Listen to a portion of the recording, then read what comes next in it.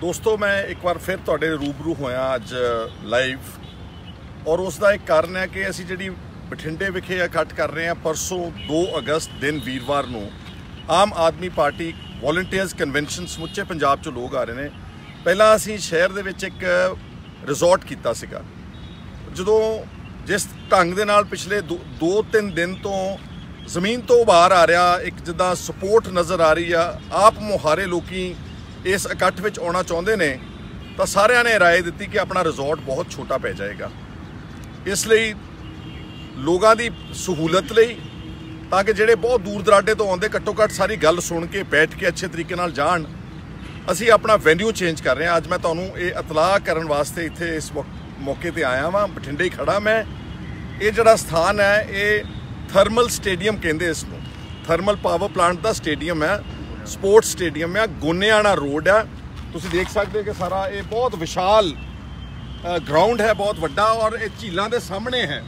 ਜੋ thermal power plant ਹੈ, ਉਸ ਦੇ ਬਿਲਕੁਲ ਆਪੋਜ਼ਿਟ ਸੜਕ ਦੇ ਉਰਲੇ ਪਾਸੇ ਇਹ ਸਾਰਾ ਸਪੋਰਟਸ ਸਟੇਡੀਅਮ ਹੈ ਥਰਮਲ ਪਾਵਰ ਪਲਾਂਟ ਦਾ। ਔਰ ਇੱਥੇ ਅੱਛੇ ਢੰਗ ਦੇ ਨਾਲ ਵਿਰਾਜਮਾਨ ਹੋ ਕੇ, ਅੱਛੇ ਤਰੀਕੇ ਨਾਲ ਟਿਕ ਕੇ, ਬੈਠ ਕੇ ਆਪਾਂ ਸਾਰੇ ਪੰਜਾਬ ਦਾ ਜੋ ਵਾਤਾਵਰਣ ਹੈ ਜਿਸ ਕਰਕੇ ਸਾਨੂੰ ਇਸ ਇਹ ਜਿਹੜਾ Aam Aadmi party workers volunteers convention ਰੱਖਣੀ ਪਈ, ਜੋ ਅਸੀਂ ਪੰਜਾਬ ਦੇ ਹਿੱਤ ਦੇ ਫੈਸਲੇ ਕਰਨੇ, ਜੋ ਪੰਜਾਬ ਪੰਜਾਬ ਦੇ ਮੁੱਦਿਆਂ ਤੇ ਪੰਜਾਬ ਦੇ ਲੋਕਾਂ ਨੂੰ ਅਧਿਕਾਰ ਹੋਣਾ ਚਾਹੀਦਾ, ਫੈਸਲੇ ਲੈਣ ਦਾ, ਉਹ ਸਾਰਾ ਹੁਣ ਅਸੀਂ 2 ਤਰੀਕ ਨੂੰ 2 ਅਗਸਤ ਨੂੰ ਥਰਮਲ ਸਟੇਡੀਅਮ ਦੇ ਵਿੱਚ ਗੋਨੇਆਣਾ ਰੋਡ, ਬਠਿੰਡਾ ਸ਼ਹਿਰ ਝੀਲਾਂ ਦੇ ਸਾਹਮਣੇ, ਇਸ ਸਟੇਡੀਅਮ ਦੇ ਵਿੱਚ ਸਾਰਾ ਇਕੱਠ ਹੋਵੇਗਾ। ਇਸ ਲਈ ਮੇਰੀ ਤੁਹਾਨੂੰ ਸਭ ਨੂੰ ਇੱਕ ਵਾਰ ਫਰਿਆਦ ਆ ਅਪੀਲ ਆ ਕਿ ਹੱਥ ਜੋੜ ਕੇ ਅਪੀਲ ਆ ਸਾਰਿਆਂ ਨੂੰ ਕਿ ਹੁਮ ਹਮਾ ਕੇ ਵੱਡੇ ਪੈਮਾਨੇ ਤੇ ਆਲਰੇਡੀ ਮੈਨੂੰ ਬਹੁਤ ਵੱਡੇ ਪੈਮਾਨੇ ਤੇ ਰਿਪੋਰਟ ਸਾਰੀਆਂ ਸਮੁੱਚੇ ਪੰਜਾਬ ਚੋਂ ਕਿ ਅਸੀਂ ਆ ਰਹੇ ਹਾਂ ਜੀ, ਅਸੀਂ ਆਪਣੀ ਟਰਾਂਸਪੋਰਟ ਵੀ ਆਪੇ ਕਰਾ ਲਈ ਅਸੀਂ ਗੱਡੀਆਂ, ਮੋਟਰਾਂ, ਬੱਸਾਂ ਔਰ ਅਸੀਂ ਅਵਸ਼ ਆਵਾਂਗੇ। ਇਸ ਲਈ ਸਾਨੂੰ ਉਹ ਵੈਨਿਊ ਬਦਲਣਾ ਪਿਆ ਰਿਜ਼ੋਰਟ ਨੂੰ ਛੱਡ ਕੇ ਹੁਣ ਅਸੀਂ ਇਹ ਇਕੱਠ ਹੈ ਜਿਹੜਾ ਆਪਣੇ ਸਟੇਡੀਅਮ ਵਿੱਚ ਕਰਾਂਗੇ। ਇਸ ਇਸ ਇਨਫੋਰਮੇਸ਼ਨ ਦੇਣ ਵਾਸਤੇ ਅੱਜ ਮੈਂ ਤੁਹਾਡੇ ਕੋਲ ਇੱਥੇ ਸਾਹਮਣੇ ਆਇਆ। ਦੂਸਰਾ, ਮੈਂ ਆਪਣੇ ਸਤਿਕਾਰਯੋਗ ਐਨ ਆਰ ਆਈ ਭਰਾਵਾਂ ਨੂੰ ਬੇਨਤੀ ਕਰਨਾ ਚਾਹੁੰਦਾ, ਕਿਉਂਕਿ ਸ਼ਾਇਦ ਮੇਰਾ ਖਿਆਲ ਨਿਊਯਾਰਕ ਦੇ ਵਿੱਚ ਨਾਰਥ ਅਮਰੀਕਾ 'ਚ ਮੁੱਦਾ ਪ੍ਰੋਗਰਾਮ ਦੋ ਤਿੰਨ ਦਿਨ ਤੋਂ ਇਹੀ ਡਿਸਕਸ ਹੋ ਰਿਹਾ ਵਾ, ਔਰ ਐਨ ਆਰ ਆਈਜ਼ ਦਾ ਵੀ ਬਹੁਤ ਭਾਰੀ ਰੁਝਾਨ ਨਜ਼ਰ ਆ ਰਿਹਾ ਵਾ। ਮੈਨੂੰ ਰਿਆੜ ਸਾਹਿਬ ਨੇ ਫੋਨ ਕਰਕੇ ਦੱਸਿਆ ਕਿ ਅਗਰ 100 ਕਾਲ ਆਈ ਆ, ਇੱਕ ਨੇ ਵੀ ਤੁਹਾਡੀ ਮੁਖਾਲਫਤ ਨਹੀਂ ਕੀਤੀ। 100 ਦਾ 100 ਹੀ ਜਿਹੜਾ ਕਾਲਰ ਸੀਗਾ, ਉਹ ਪੰਜਾਬ ਦੇ ਵੱਧ ਅਧਿਕਾਰਾਂ ਦੀ ਗੱਲ ਕਰਦਾ ਵਾ। ਇਸ ਲਈ ਮੇਰੀ ਐਨ ਆਰ ਆਈਜ਼ ਨੂੰ ਇਹ ਔਰ ਐਨ ਆਰ ਆਈਜ਼ ਨੇ ਮੈਨੂੰ ਬੇਤਹਾਸ਼ਾ ਕਾਲਸ ਆਈਆਂ ਨੇ, ਉਹਨਾਂ ਦੀਆਂ ਮੈਸੇजेस ਆਏ ਨੇ ਪਿਛਲੇ ਦੋ ਤਿੰਨ ਦਿਨ ਤੋਂ। ਉਹਨਾਂ ਨੂੰ ਮੈਂ ਬੇਨਤੀ ਕਰਨਾ ਚਾਹੁੰਦਾ ਵਾਂ ਕਿ ਤੁਹਾਡਾ ਮੈਂ ਇੱਕ ਇੱਕ ਲਫ਼ਜ਼ ਸਾਡੇ ਸਿਰ ਮੱਥੇ ਤੇ ਆ। ਤੁਹਾਡੀ ਸਪੋਰਟ ਜੋ ਤੁਸੀਂ ਸਾਡੇ ਵਾਸਤੇ ਇੰਨਾ ਚਾਰਾ ਚੋਈ ਕਰ ਰਹੇ ਆ, ਇਹ ਤੁਹਾਡਾ ਮੈਂ ਬਹੁਤ ਬਹੁਤ ਰਿਣੀ ਔਰ ਸਦਾ ਰਿਣੀ ਰਹਾਂਗਾ।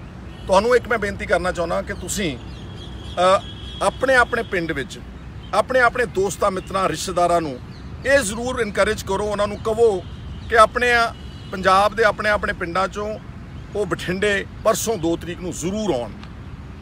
ਗੱਡੀ ਤੇ ਆ ਸਕਦੇ ਨੇ, ਮੋਟਰਸਾਈਕਲ ਤੇ ਆ ਸਕਦੇ ਨੇ।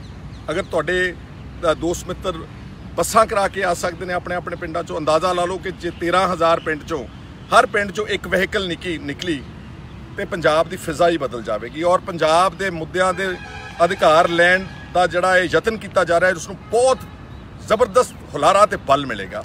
ਇਸ ਲਈ ਐਨ ਆਰ ਆਈਜ਼ ਨੂੰ ਵਿਸ਼ੇਸ਼ ਤੌਰ ਤੇ ਮੇਰੀ ਬੇਨਤੀ ਆ ਕਿ ਜਿੱਥੇ ਤੁਸੀਂ ਸਾਡੀਆਂ ਹੋਰ ਸ਼ੁਭ ਕਾਮਨਾਵਾਂ ਕਰਦੇ ਹੋ, ਅਰਦਾਸਾਂ ਕਰਦੇ ਹੋ ਇੱਕ ਇੱਕ ਵਾਰ ਆਪਣੇ ਜਿਹੜੇ ਤੁਹਾਡੇ ਪਿੰਡਾਂ 'ਚ ਕੰਟੈਕਟਸ ਨੇ, ਚਾਹੇ ਰਿਸ਼ਤੇਦਾਰ ਨੇ, ਚਾਹੇ ਦੋਸਤ ਨੇ, ਚਾਹੇ ਜੋ ਵੀ ਤੁਹਾਡਾ ਸੱਜਣ ਮਿੱਤਰ ਨੇ, ਉਹਨਾਂ ਨੂੰ ਕਹੋ ਕਿ ਸਾਡੇ ਕਹਿਣ ਤੇ ਪਰਸੋਂ ਨੂੰ ਤੁਸੀਂ ਸਾਰੇ ਇੱਕ ਵਾਰ ਠੀਕ 11 ਵਜੇ ਬਠਿੰਡੇ ਪਹੁੰਚਣ ਦੀ ਕਿਰਪਾਲਤਾ ਕਰਨੀ।